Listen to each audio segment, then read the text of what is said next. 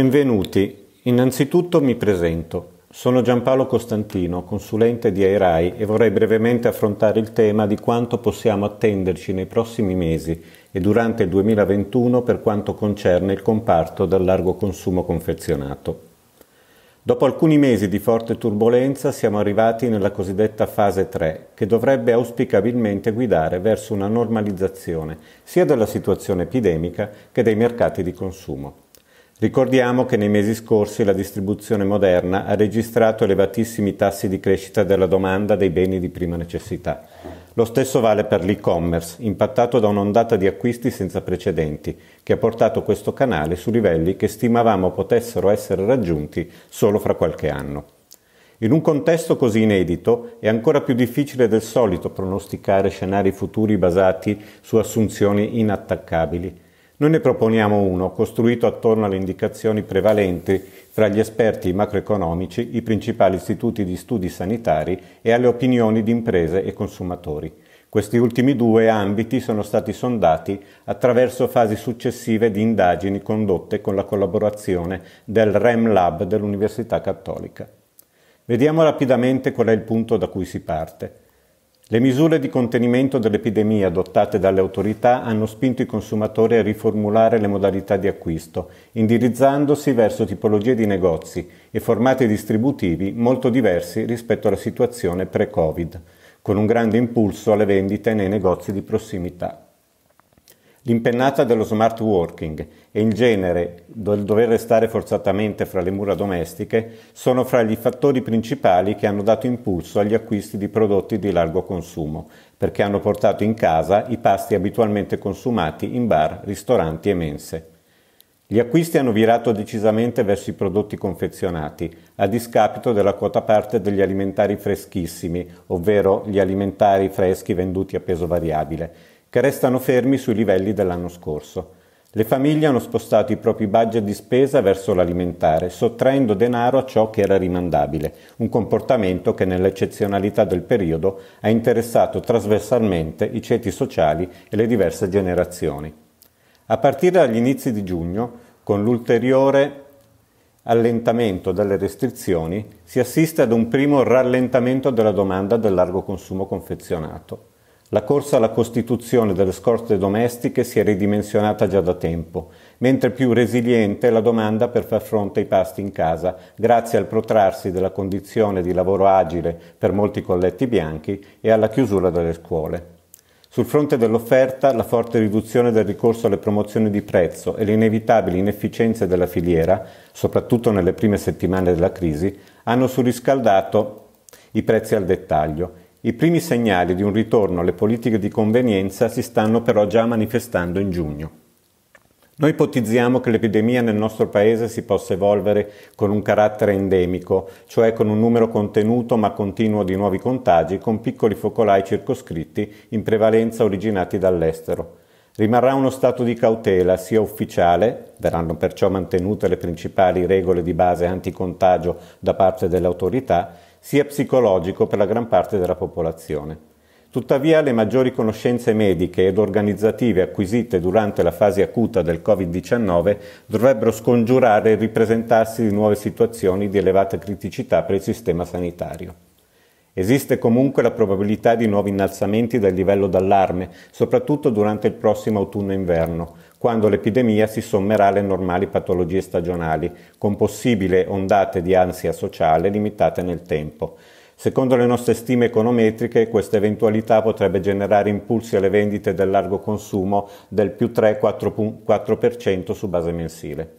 Ovviamente l'assioma fondamentale dello scenario epidemico adottato è che all'eventuale messa a punto di un vaccino, unica vera risoluzione dell'epidemia, realisticamente non potrà raggiungere una sufficiente copertura della popolazione mondiale già entro il 2021. Il secondo semestre di quest'anno rappresenta quindi l'ingresso del mercato in una nuova fase, dominata da fattori economici sia di carattere generale che di filiera. Da oggi lo scenario della domanda sarà perciò condizionato dagli effetti del calo del reddito. per recuperare o difendere le posizioni perse o acquisite nella fase acuta del lockdown, al recupero della completezza sortimentale, i player della filiera del largo consumo affiancheranno investimenti in prezzi e promozioni per sostenere i volumi acquisiti nella fase emergenziale. Si assisterà congiuntamente ad un ritorno alle politiche di fidelizzazione dei consumatori. Dopo lo spostamento degli acquisti verso i formati distributivi di prossimità durante il periodo di lockdown, si sta osservando già in fase 3 un ritorno agli assetti pre-Covid. In questo giocherà un ruolo fondamentale appunto il dispiegamento delle leve di marketing, fra cui in primis prezzi e promozioni. Invece non arretrerà il canale dell'e-commerce che consoliderà le posizioni acquisite durante la fase acuta della crisi sanitaria, proseguendo la sua espansione. La migrazione dei pasti fuori casa in casa sarà ancora un elemento determinante per l'evoluzione della domanda. Questo è stato, come abbiamo visto, uno dei fattori principali che ha causato l'impennata delle vendite nel corso della fase critica dell'epidemia. Con, la riapertura di bar e ristoranti si sta assistendo ad un graduale rientro del fenomeno, ma le indagini sui consumatori effettuate all'inizio di luglio orientano però verso tempi lunghi per una completa normalizzazione. Infatti una quota significativa dei lavoratori si aspetta di continuare a lavorare da casa e quasi il 40% dei consumatori dichiara ancora una certa riluttanza a frequentare assiduamente i locali pubblici, anche in futuro. La nostra ipotesi è che in prospettiva la distribuzione continuerà ad assorbire una quota parte della domanda alimentare altrimenti soddisfatta in bar e ristoranti Stimiamo che questa fetta della domanda inciderà ancora per il 2,6% sulle vendite di alimentari e bevande nel secondo semestre di quest'anno, per poi scendere gradualmente fino all'1,3% nel secondo semestre del 2021. Quali sono i numeri attesi per le vendite del largo consumo confezionato nel retail in questo scenario? Nel secondo semestre del 2020 le vendite, pur fluttuando parecchio lungo le settimane, cresceranno minimamente, poco sotto il mezzo punto percentuale, sia a valore che a volume, grazie allo stop dei prezzi, fermi sui livelli della controcifra dell'anno scorso. Salvo il fatto che l'andamento climatico estivo, fino ad oggi sottotono rispetto agli ultimi anni, non va a limare qualche ulteriore decimo di punto di crescita per le categorie stagionali, fra cui in primis gelati e bevande. Il saldo dell'anno sarà tuttavia positivo grazie all'eredità del periodo Covid, con un più 4,6% dei ricavi e un più 3,8% degli acquisti a volume, sempre clima permettendo. La forte crescita del primo semestre di quest'anno sarà scontata inevitabilmente nella prima parte dell'anno prossimo, un handicap che condizionerà il bilancio di tutto il 2021, con un calo superiore al 3% sia a volume che a valore.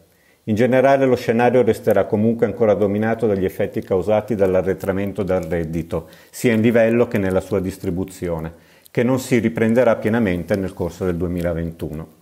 Nel secondo semestre dell'anno prossimo si prevede però un riallineamento del trend delle vendite su tassi di crescita fisiologici, comunque inferiori ai due punti percentuali, ancora supportate da prezzi deboli, una forte spinta promozionale e una parte residuale di domanda fuori casa ancora rimasta fra le mura domestiche.